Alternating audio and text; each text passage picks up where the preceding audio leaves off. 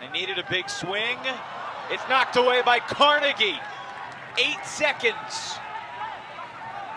Five seconds. Chen, can he throw it the full 80 yards of the field? Are you kidding me? You are kidding me!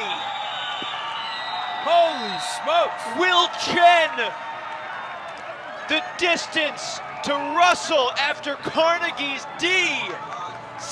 Seattle gets within two at the buzzer. One of the great pressure throws in a desperation situation I've ever seen.